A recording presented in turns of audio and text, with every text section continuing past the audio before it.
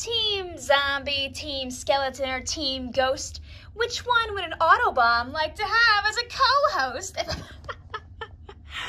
We're gonna find out in one fell swoop with a brand new circle on a carpet with no cat hair. Whee! Let's a go.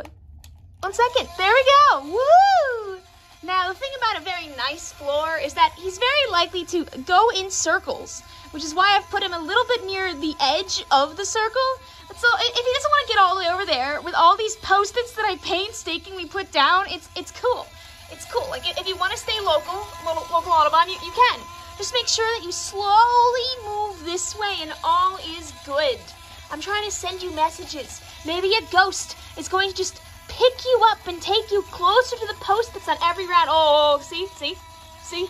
Closer on every go. Or maybe a signal from the undead will just take you closer to green, your your actual color, which you actually are. Oh, so close. Oh, look how close the scrape was.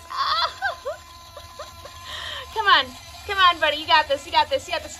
Mama needs a new pair of Splatfests. And he's Team Zombie. You go, fellas. Couldn't resist the green. Couldn't resist. No, no, you don't get to just pick a second choice now. You're committed now. You're committed now, buddy.